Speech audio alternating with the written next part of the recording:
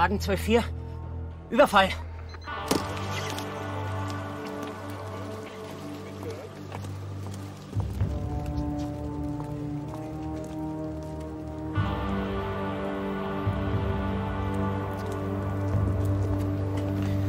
Und? Der erste Schuss ist durch die Lunge gegangen. Der zweite war vermutlich der tödliche. Er dürfte das Herz getroffen haben. Aha. Zwei Schüsse, beide direkt von vorne. Sehr gut mitgezählt, Herr Kollege. Gell? Na, ich will nur damit sagen, dass der Täter offenbar auf Nummer sicher gehen wollte. Wie weit war der Täter vom Opfer entfernt? Ein, höchstens zwei Meter. Hat man ihn so gefunden? Ja. Also, der Geldbote kommt aus dieser Tür. Unser Mann kommt der Lage des Opfers nach zu urteilen von hier. Er gibt zwei Schüsse auf das Opfer ab. Mindestens zwei Schüsse auf den Geldtransporter, obwohl der gepanzert ist. Danach ein weiterer Schuss in die Fensterscheibe. Vielleicht hat er so herumgeballert, um mögliche Zeugen loszuwerden. Wenn es ordentlich knallt, dann verstecken sie die Leute. Danach flieht der Täter durch diese Tür in die nächste Sackgasse. Mehrere Zeugen haben das bestätigt. Da kommt dann gleich der Donaukanal. Das heißt, er kann entweder den Uferweg genommen haben oder er ist mit irgendeinem Boot geflüchtet. Käme aus in der Gegend. Ja, der Täter offenbar auch.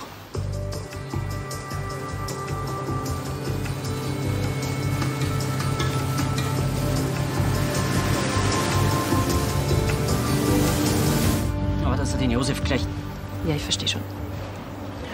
nichts machen können. Könnten Sie vielleicht die Kleidung des Mannes beschreiben? Ja, das war so eine Kapuzenjacke.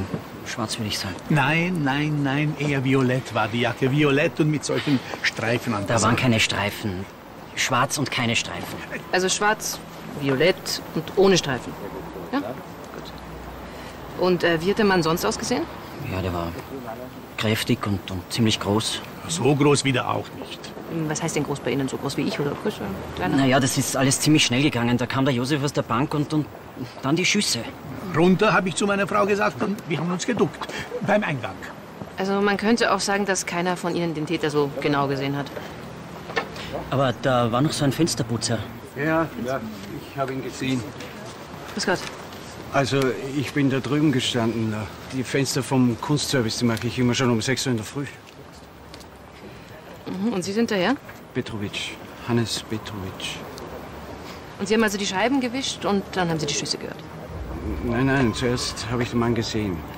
Und dann hat er geschossen und dann bin ich in Deckung. Das heißt also, Sie haben das Gesicht genauer gesehen. Sie könnten das Gesicht beschreiben. Naja, der hat so eine Kapuze aufgehabt. Wissen Sie was? Kommen Sie doch in zwei Stunden bei uns auf der Wache vorbei. Vielleicht können Sie uns ja mit der Täterbeschreibung helfen.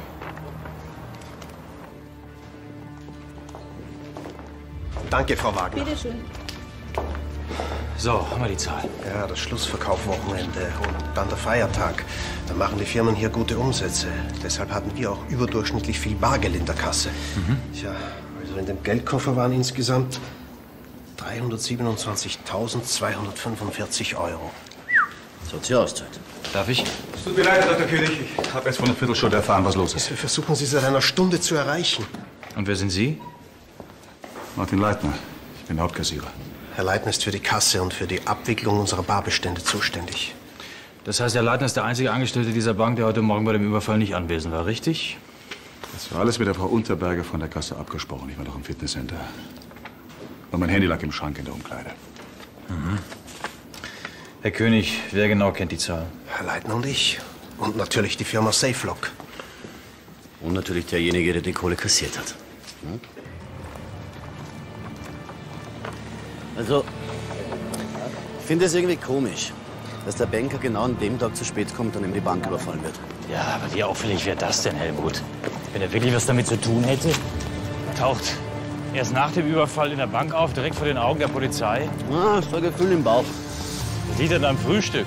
Vier Löffel Zucker auf ein Espresso und ein trockenes Brötchen. Das ist auch Semmer, kein Brötchen, dann lernst du es endlich. An dem Tag, an dem deine Cholesterinwerte Gewinn abwerfen.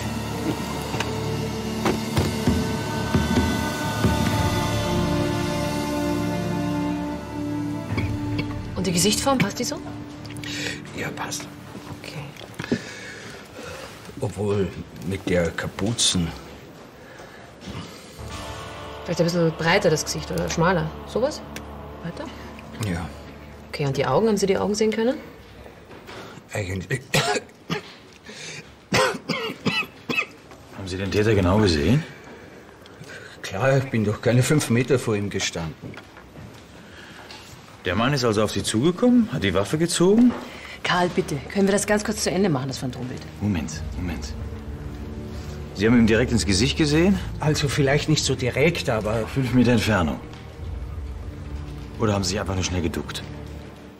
Ganz normale Reaktion bei einer Schießerei. Naja, zuerst habe ich ihn genau gesehen. Erst wie er geschossen hat, bin ich zurück ins Geschäft gelaufen. Und als Sie wieder zurückgekommen sind, war er schon weg, richtig? Sicher. Trotzdem, am Anfang habe ich ihn sehen können. Danke. Den würde ich wiedererkennen. Eben, also, dann lassen Sie uns das Phantombild ruhig fertig machen. So. Der Überfall war gut durchdacht. Der Täter hat genaue Ortskenntnisse und eine nennenswert niedrige Hemmschwelle hinsichtlich des Waffengebrauchs. Und er muss einen Informanten gehabt haben. Wieso? Ich sehe es genauso. Entweder in der Bank oder im Sicherheitsunternehmen. Die Einsatzpläne für die Transporte werden jeden Tag neu zusammengestellt. Das Team, das zur Bank rausgefahren ist, hat das unmittelbar vor der Abfahrt erfahren, wohin die Reise geht. Was mit dem getöteten Wachmann? Josef Stadelmann, 39, seit acht Jahren bei SafeLog, sehr zuverlässig, hinterlässt eine Frau, zwei kleine Kinder. Der Geldkoffer. Wo ist der geblieben? Und Herrschaften, kann mir bitte einer erklären, warum kein Mensch diesen Typen gesehen hat? Fünf Minuten nach Notruf steht die Ringfahndung.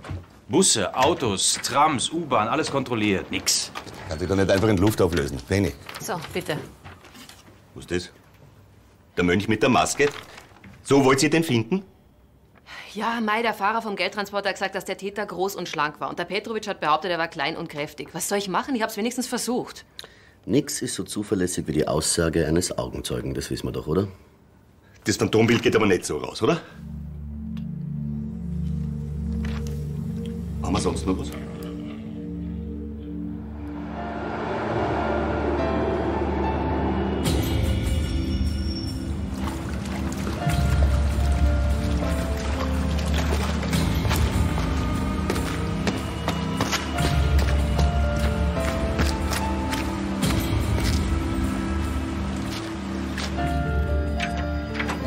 Martin Leitner. Das ist der Bankmensch, der die Kasse leitet, ne? Die Kollegen sind schon dran. Der besitzt übrigens einen Waffenschein. Ja.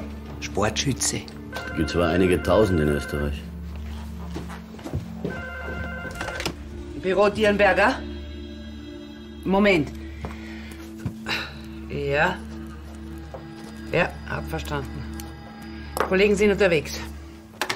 Noch eine Leiche. Wo? In der Kanalisation. Hauptkanal Friedensbrücke. Einstieg 16. Haben Sie jetzt Kanalisation gesagt? Sie meinen unter der Erde, da wo das ganze klumpert aus den Klos so... Genau dafür wirst du bezahlt, Kieberer. Oder glaubst du, ich schicke den dritten Mann runter? Zuerst habe ich geglaubt, das wäre nur ein Jacken da im Kanalwasser. Aber dann habe ich den Haken genommen und es war schrecklich. Haben Sie ihn rausgezogen? Ja, ja, aber da war nichts mehr zu machen. Sie haben erzählt, Sie kennen das Opfer. Ja, Das Solka, natürlich. Der hat heute Dienst gehabt. Aber er hat sich krank gemeldet, also bin ich runter. Jetzt finde ich ihn. Was? Durch dieses mini-winzi-Loch soll ich jetzt einsteigen, oder was? Ist aber nicht euer Ernst. Zieh deinen Waschbrettbauch ein, Mr. Universum, und bleib nah bei mir. So, sind wir's? Also los. Immer schön auf den Kopf aufpassen.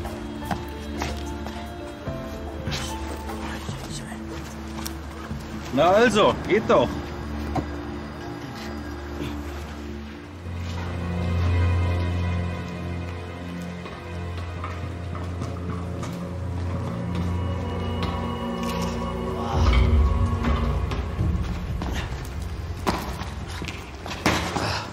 Tag. Todesursache? So wie es ausschaut, ist er ertrunken. Wo habt ihr ihn gefunden? Da drüben bei den Sieben. Der Drecksbrühe. Na, servus. Vermutlich hat er sich's nicht aussuchen können. Übrigens hat das Opfer frische Schussverletzungen. Schussverletzungen? Rede ich so undeutlich? Nein. Durchschuss Schulter, Durchschuss linker Unterschenkel. Aber hier am rechten Oberschenkel ist keine Austrittswunde. Das heißt, dass die Kugel vermutlich im Bein steckt. Außerdem gibt es noch Verletzungen im Gesicht, am Hals, an den Händen und die Unterlippe ist aufgeplatzt. Naja, er hat drei Kugeln abgekriegt. Wahrscheinlich ist er gestürzt und hat sich dabei verletzt, oder? Möglich. Die Verletzungen sind unspezifisch. Hämatome und Abschürfungen. Also angeschossen und dann in der Jauche ersoffen. Na servus, so möchte auch nicht im Himmel ankommen. Wie lange ist er schon tot? Ungefähr seit zwei Stunden. Ungefähr? Frau Kollegin, ich habe gedacht, in der Pathologie gibt es kein ungefähr. Lieber Kollege Nowak, ermitteln Sie mir die genaue Temperatur von der Brühe da, dann sag ich Ihnen, wann genau er gestorben ist. Sie können ihn schon mitnehmen, danke.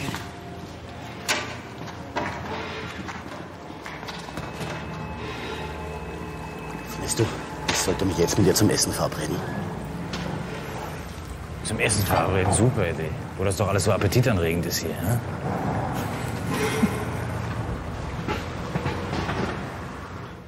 Bin Gruppenleiter bei der Kanalräumung. Ich? Ja, wir sind zwölf Mann in der Truppe und ich mache den Plan für die Begehungen. Verirren sich da eigentlich ab und zu auch mal ein paar andere Leute runter? Obdachlose, Touristen. Na, bei uns im Revier nicht. Da sind wir ganz allein. Sagen Sie, hat der Solker vielleicht einmal Streit gehabt mit irgendeinem von den Kollegen? Na. Ja, ich meine, sowas würde ich wissen. Wir kennen uns seit Jahren. Der Solker ist auch schon seit Jahren dabei? Nein, der Solker nicht. Der Solker ist vor circa zwei Jahren dazugekommen. Das war ein Einzelgänger. Der hat nie richtig ins Team passt. Ein Einzelgänger? Das heißt, es gab nie Krach, einen Streit?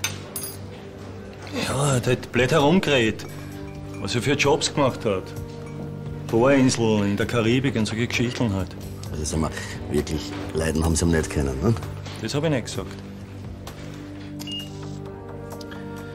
9 Millimeter.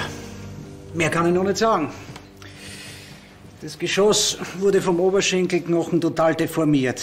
Und bevor ich es mit einem anderen Projektil vergleiche, muss ich jede Menge Berechnungen anstellen. Oi. Entfernung? Maximal ein halber Meter. Wir haben seinen Ausweis, die Geldbörse, keinen Hausschlüssel und das Handy. Weißt du was, Wolfert? Dann stell doch mal deine Menge Berechnungen an und ich werde mal die Daten aus dem Handy auslesen. Aye, aye, Captain.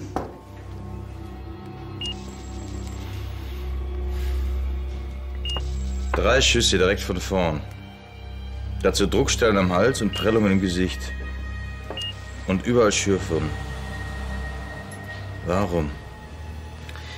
Vielleicht hat ihn jemand geschlagen und dann den Kopf in den Abwasserkanal gedrückt.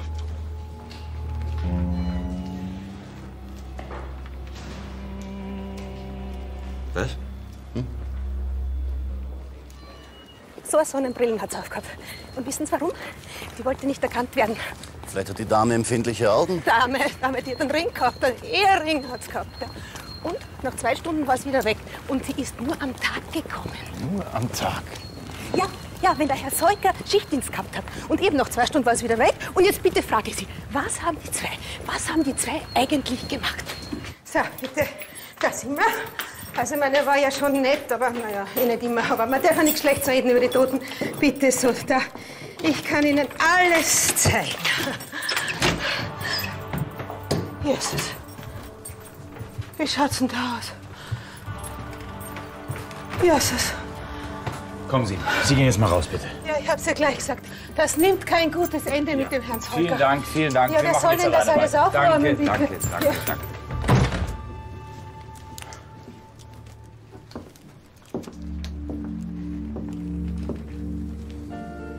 War aber einer gründlich. Ja, und einen Wohnungsschlüssel hat er sichtlich auch gehabt. Die Tür war versperrt.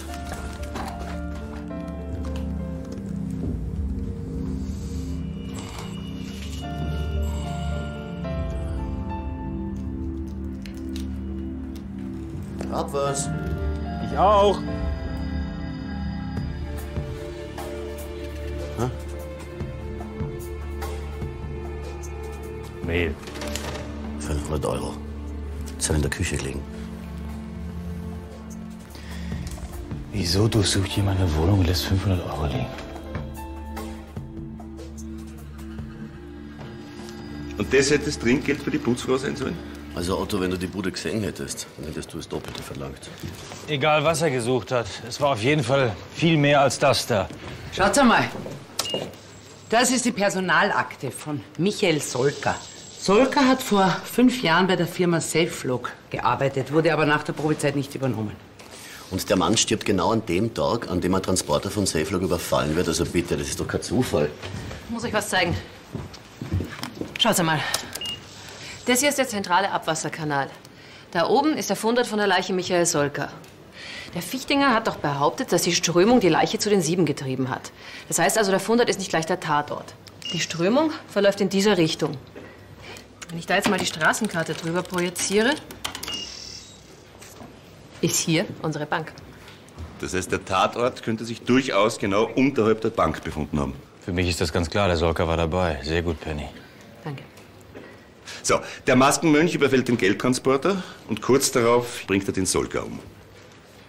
Was hat sich da unten abgespürt? Also durch das Haus ist er raus. Dann Richtung Uferstraße mit einem Geldkoffer in der Hand. Das muss doch bitte irgendwer gesehen haben. Muss es nicht. Nicht, wenn er gar nicht bis zur Straße raus ist, sondern hier runter. Ich hab da vor kurzem jemand ausgeputzt. Das sind Kratzspuren.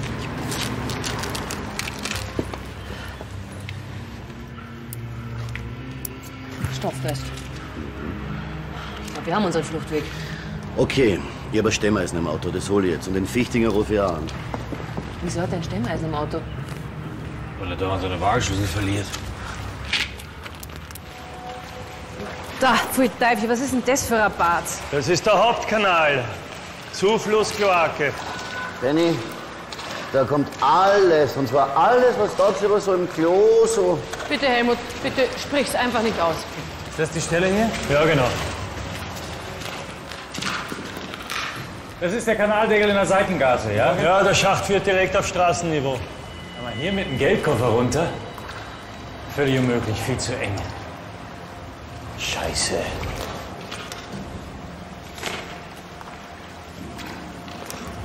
Es sei denn, er hat den Koffer einfach runtergeschmissen. Dann hätte ich unten einen zweiten Mann gebraucht.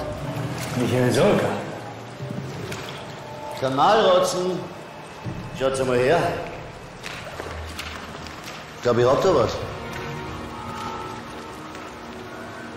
Na also. Hier muss die Spurensicherung noch mal runter. Na, herrlich. Können wir jetzt bitte wieder raufgehen? Bitte?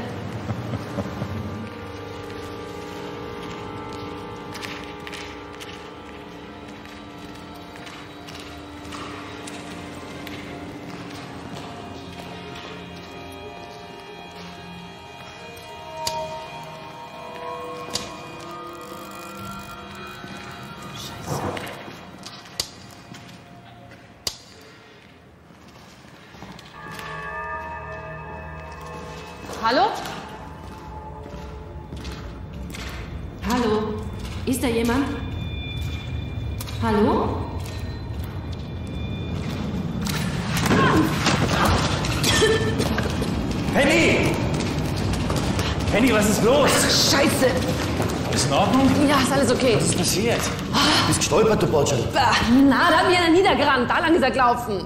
Hast du irgendwas erkennen können? Ist da hinten ein Ausgang? Ausgänge gibt's eine Fülle. Da haben wir keine Chance.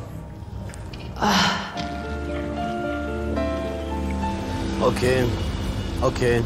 Ja, dann danke. Okay, wiederhören. Das war der Fichtinger. Sie haben alles abgesucht da unten. Nichts. Aber Obdachlose übernachten manchmal dort. Ein Obdachloser soll Penny umgeworfen haben? Sagt der Fichtinger, nicht ich. Ach, es geht doch nichts über eine warme Dusche und frische Klamotten. Und natürlich den Früchtetee von Frau Kremser. Mit zwei Löffeln Akazienhonig. Karl, ich habe was Neues über Leitner. Der hat sich vor zwei Jahren im Grazer Casino sperren lassen. Unser Banker. Unser feiner Banker ist Spieler. Und was ist? Reden wir mit dem Leitner? Langsam. Er soll sich sicher fühlen. Wir beobachten ihn. Du glaubst, dass er uns zu dem Geldkoffer findet? Ah, verstehe. Das ist was für Penny Lanz, weil der Mann mich noch nie gesehen hat. Ist sie nicht klug, unsere Frau Lanz? Ne? Da kommen Sie jetzt erst drauf, Herr Kollege. Die da hast du im Kanal gefunden. Und die stammt vom Überfall. Und jetzt pass auf. Identischer Abdruck. Bist du dir da ganz sicher? Hundertprozentig dieselbe Waffe. Jeder Schlagbolzen hinterlässt auf der Hülse einen anderen Abdruck. Das ist so unverwechselbar wie ein Fingerabdruck.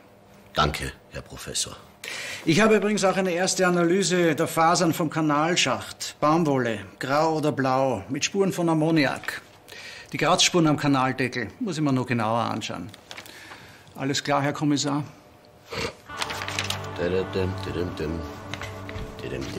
Wie viel Zeit lag zwischen dem Überfall auf den Sicherheitsbeamten und Solkas Tod? Circa zwei bis drei Stunden. Angenommen, Leitner und Solka haben die Sache wirklich gemeinsam durchgezogen. Anschließend bringt Leitner Solka um? Zwei Hunde streiten um einen Knochen. Wir haben die Daten aus Solkas Handy. Die beiden letzten Anrufe, die er erhalten hat, waren um 9.12 Uhr und 10.17 Uhr. Äh, Haben wir den Anrufer? Unbekannt, unterdrückte Nummer. Stammen aber von einer Prepaid-Karte aus Tschechien. Aber wir haben noch eine SMS. 10.32 Uhr. Text, ich muss dich dringend sehen, bitte. Sicher von einer Frau. Wie du nur da drauf kommst. Stammen von einer Veronika Fichtinger. Die Frau von Fichtinger? Moment mal, vielleicht ist das die große Unbekannte, die Solka die Vormittage versüßt. Die beiden sind gemeinsam den Überfall durch und der Solker vernascht noch die Frau von seinem Komplizen. Na, Hut ab, kein Kostverächter, der Typ. Eifersucht. Wäre nicht das erste Mal, dass dadurch eine Komplizenschaft auseinanderbricht. Aber seid mir nicht best. Das ist der Fichtinger? Das ist jede Ritter.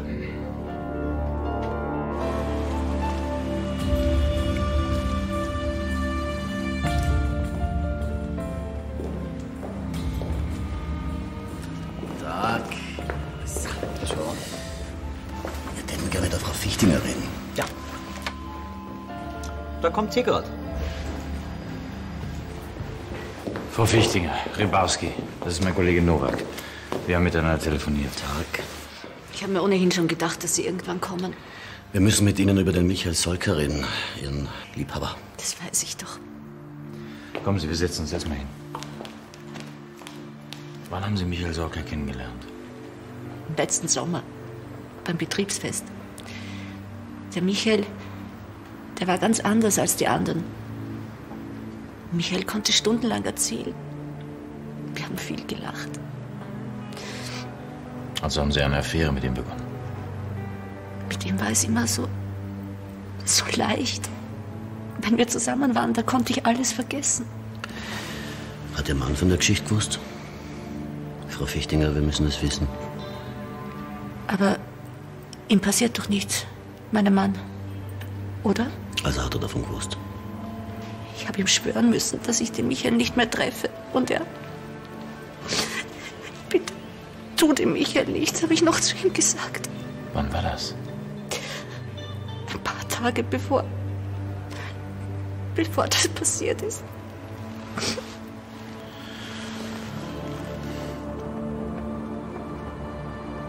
Aber warum? Warum hätte der Michael irgendwas antun sollen?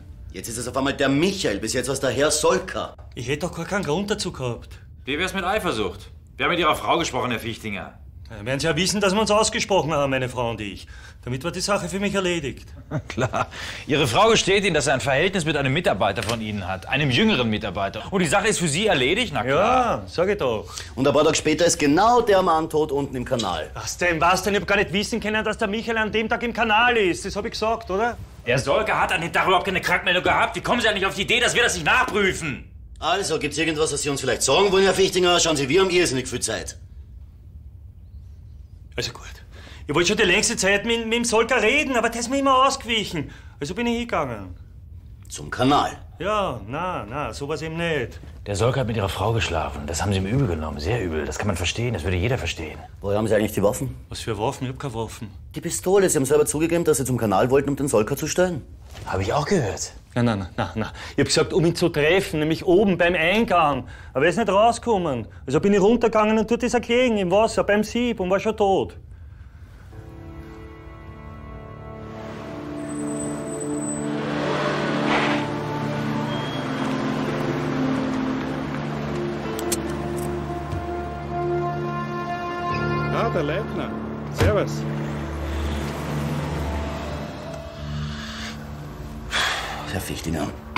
Immer wenn Sie nach der Arbeit aus dem Kanal kommen, dann reinigen Sie Ihre Hände doch in so einer Flüssigkeit. Ja, Ist in der Flüssigkeit Ammoniak drin? natürlich. Deswegen muss man aufpassen, dass man nichts in die Augen kriegt. Mhm. Wir haben in der Nähe von der Donaubank Fasern gefunden. An diesen Fasern war Ammoniak. Hast du es jetzt? Sie jetzt vielleicht behaupten, hätte den Geldtransport auch noch überfallen, oder was? Vielleicht sagt er die Wahrheit. Was ist mit der Waffe? Negativ, die Durchsuchung hat nichts ergeben. Hm.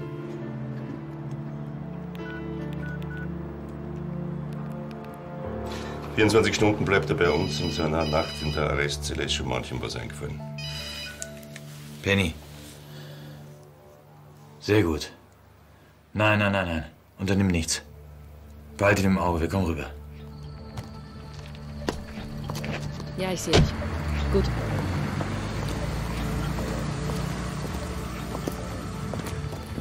Der Leitner ist seit zwei Stunden da drin. Und vor circa zehn Minuten sind zwei Gorillas aufgetaucht. Die haben ziemlich ungemütlich ausgesehen. Was wissen wir von dem Laden? Die Kollegen vom Glücksspiel haben den im Dauervisier. Illegale Wetten weltweit, kein Limit. Warte. Da ist er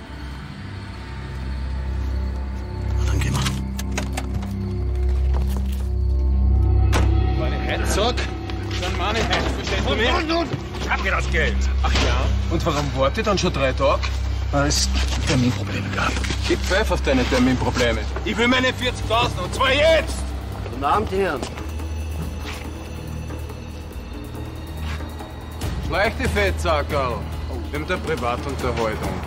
Und die Tussi und den Hippie-Freund kannst du gleich mitnehmen. Pass auf, machen wir so. Du schleichst die, sonst leg ich dir eine auf.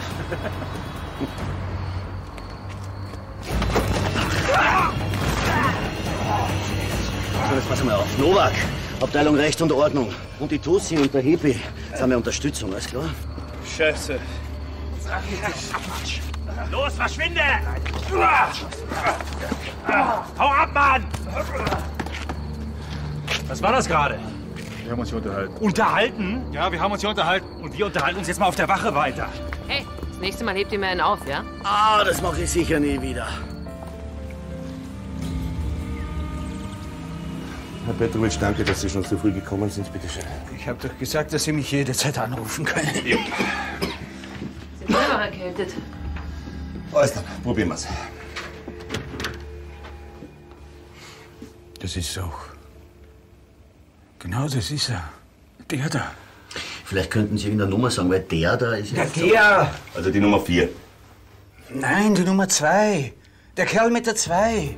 Das ist der Mann, den Sie vor der Bank gesehen haben. Ich habe Ihnen doch gesagt, dass ich ihn wieder erkenne. Sie sind ja ganz blass. Kommen Sie mit raus, ich gebe Ihnen was zu trinken. Kommen Sie, Petrovic.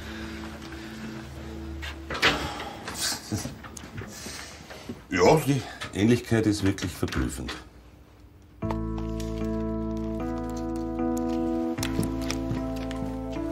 So, bitte. Danke. Geht's? Ja, ja, geht schon. Das hört man davon, wenn man sich nicht schont. Kenn ich.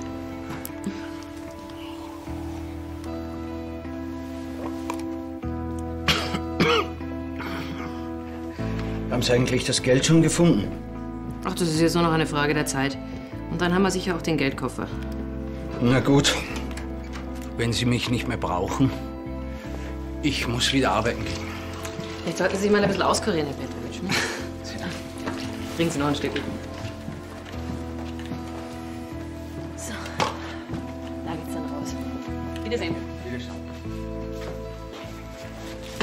Was war das denn jetzt? Was?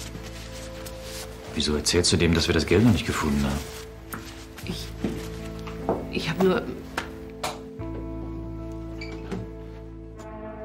Ihr habt den Staatsanwalt benachrichtigt, dass unser Augenzeuge einen Verdächtigen identifiziert hat. Das Problem ist natürlich, dass, Dass der Leitner noch nicht gestanden hat? Na, dass unser Augenzeuge so eine Niederlage ist.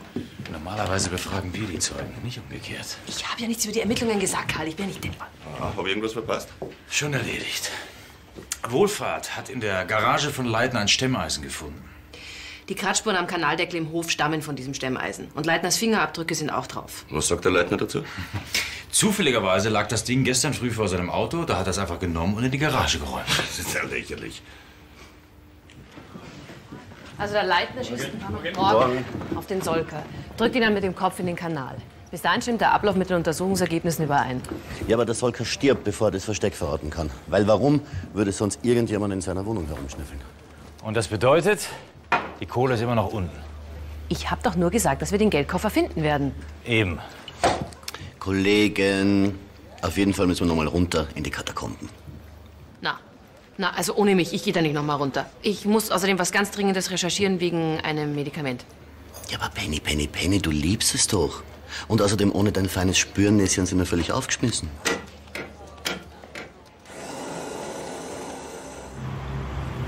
Danke. Was ist los, Helmut? Du sagst doch immer, du kommst von ganz unten.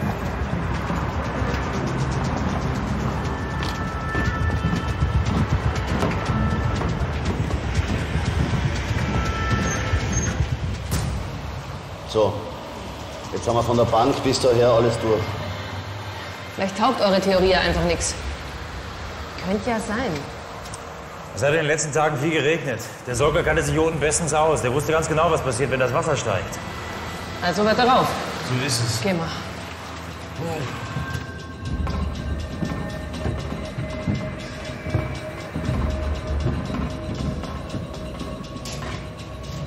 Wo würdet ihr den Koffer verstecken? Ja, irgendwo, wo man leicht findet. Wahrscheinlich am besten unter Wasser mitten im Kanal. Ah, ja. Hey, Kollegen! Braucht irgendwie ein bisschen Kleingeld von euch? Haha, zieh mal am Schnürchen, Karl. Da drüben.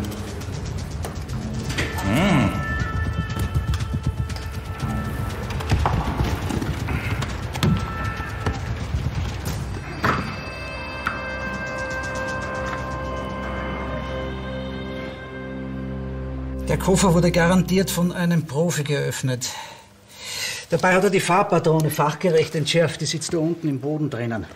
Und bei gewaltsamen Öffnen würden Nadeln in die Geldscheine schießen und Tinte injizieren. Und somit wäre das Geld für den Dieb wertlos. Der Solker wusste, wie man solche Koffer aufkriegt. Leitner auch. 327.245 Euro. Also sagen wir, der Leitner macht den Überfall, wirft den Geldkoffer runter in den Kanal zum Solker. Der versteckt aber den Koffer irgendwo. Jetzt foltert ihn der Leitner, aber der Solker stirbt, bevor er das Versteck verraten kann. Also sucht der Leitner weiter. In der Wohnung von Solka und in den Kanälen. Und dabei stößt er auf dich. Aber halt, halt, halt, halt, halt. Der Leitner kann es nicht gewesen sein. Den habe ich ja schon längst überprüft. Als mich da einer am Kanal in den Gatsch kauen hat, da hatte der eine Besprechung in der Bank. Scheiße. Also, nicht der Fichtinger, nicht der Leitner. Aber wer ist denn unser zweiter Mann?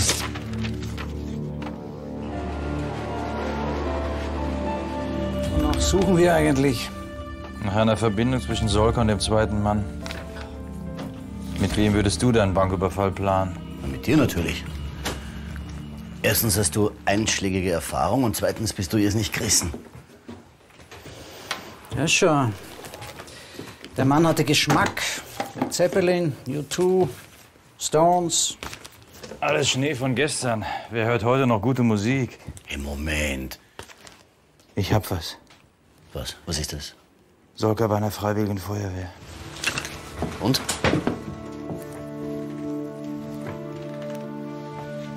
Und den hier kennen wir auch.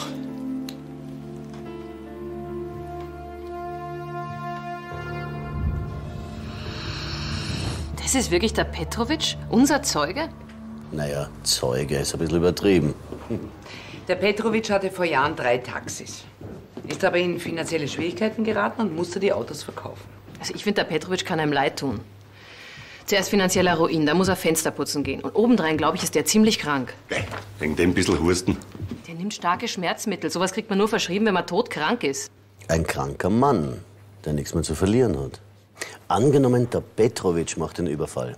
Er haut den Geldkoffer in den Schacht hinunter, wo ihn sein Feuerwehrkollege der Solke entgegennimmt. Danach zieht er sich um und taucht schön brav als Fensterputzer oben am Tatort wieder auf. Und liefert uns irgendeine Fantasietäterbeschreibung. Wie wär's, wenn wir ausnahmsweise mal dem Petrovic freiwillig Informationen liefern und gucken, was er damit anfängt?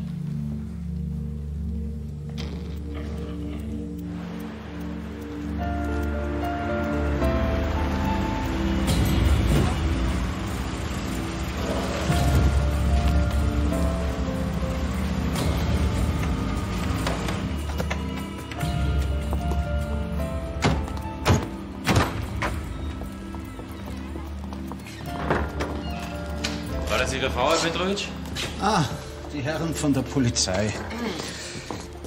Nein, Frau Wagner hilft mir gelegentlich bei der Buchhaltung. Buchhaltung, verstehe. Eins muss ich Ihnen aber gleich sagen, viel Zeit habe ich nicht. Ich habe noch drei Schaufenster in der Schönbrunner Straße. Wir haben nur ein paar kurze Fragen. Na, bitte. Ah, ich gehe nur noch mal schnell telefonieren. Ich komme gleich nach. Okay. Ich war drei, nein, zwei Jahre bei der Freiwilligen Feuerwehr, aber an einen. Wie heißt der noch? Michael Solke. Solker? Solker? Nein, kann mich nicht erinnern. Wir haben Sie gar nicht nach Ihrem Alibi gefragt. Ich meine, für die Tatzeit, also reine Routine. Sie fragen mich, aber ich war doch dort. Und danach? Wie? Naja. Bis acht haben sie Fenster geputzt. Danach war der Überfall und sie wurden am Tatort vernommen. Und später sind sie dann zu uns ins Büro gekommen. Ja. Ich habe all meine Termine absagen müssen, weil ich euch bei dem Phantombild geholfen habe. Hat mich übrigens 170 Euro Ausfall gekostet, der Spaß. Oje. Na, aber da hier, in der Zeit zwischen Überfall und dem Besuch bei uns, was ist da gewesen? Was soll das? Was wollen Sie von mir? Ich habe Ihnen geholfen, den Täter zu finden. Schon vergessen? Und Sie nehmen ziemlich starke Tabletten. Sie sind krank, stimmt's? Sterbenskrank. Ja, verdammt. Ich bin krank. Und wissen Sie, was ich tue? Ich arbeite wie ein Wahnsinniger, damit ich mir noch was zusammenkratze für die Zeit, wenn es richtig hart wird. Ein, maximal zwei Jahre habe ich noch.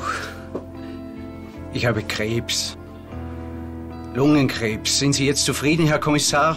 Warum sollten wir damit zufrieden sein, Herr Petrovic? Karl, Helmut, morgen früh um 8 ist der Kanal geräumt. Ah, perfekt. Kanalrömer auch dort, Feuerwehr, wissen alle, wonach wir suchen? Ja, ja, ja.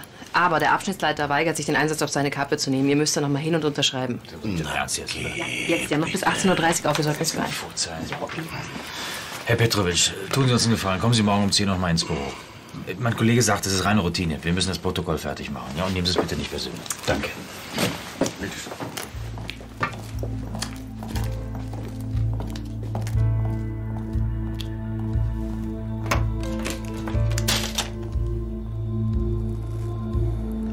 Was wenn wir uns täuschen? Ich meine, der Typ ist todkrank. Vielleicht versucht er ja wirklich nur über die Runden zu kommen, bis er... Der Kerl hat Krebs im Endstadium. Der hat nichts mehr zu verlieren, das sagt sogar Helmut. Ja, aber das Werkzeug für den Kanaldeckel, das haben wir beim Leitner gefunden. Ja, weil Petrovic ihm das untergejubelt hat, um ihn verdächtig zu machen. Der hat ihn schließlich auch mit Absicht falsch identifiziert. Ich bin sicher, das funktioniert.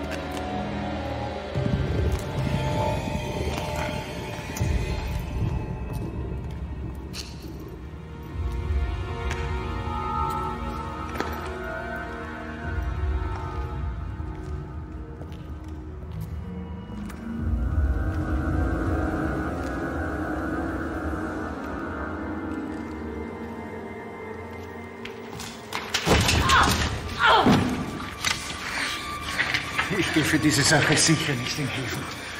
Nicht die letzten zwei Jahre meines Lebens.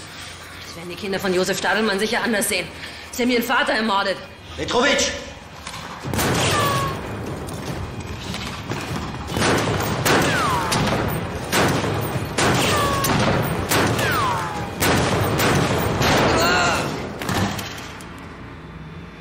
Ich hab ihn erwischt! Seid ihr okay? Alles okay! Also, Kinder, ja.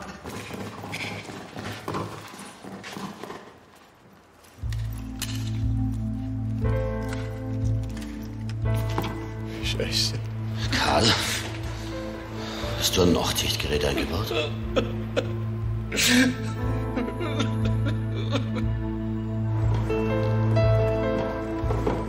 Jetzt weiß ich auch, woher ich die Frau kenne, die bei Petrovic die Buchhaltung gemacht hat. Aus der Donaubank. Das ist die Sekretärin aus der Donaubank gewesen. Daher hat der Petrovic seine Informationen gehabt. Gratuliere, Kollegen. Saubere Arbeit. Naja, sauber. Bin ich mir nicht sicher, wenn es schaust, wie er ausschauen. Und riechen muss man erst einmal an uns. Trotzdem, einer von euch muss noch mal runter die Spurensicherung koordinieren. Na. Na. Na, sicher nicht. Ich hab genug von dem ganzen Kanal klumpert. Na, na, brauchst mich gar nicht so anschauen. Ich bin noch ganz traumatisiert von dem Überfall. Tja. Ja, was nix da, Leute. Also ich muss ins Büro den Bericht schreiben. Sonst fängt nur der Staatsanwalt wieder an zu hyperventilieren. Richtig. Je eher, desto besser. Viel Spaß, mein Freund. Ja, und ich muss da ganz dringend mitgehen, weil schließlich bin ich ja hier die Protokollfifi. Servus. Karl? Was denn? Alte Soldatenregel. Den dritten Mann trifft's immer. Außerdem, wer kennt sie im Wiener Untergrund besser aus als du? Du bleib doch heroben. Warte auf dich, Herr Kollege.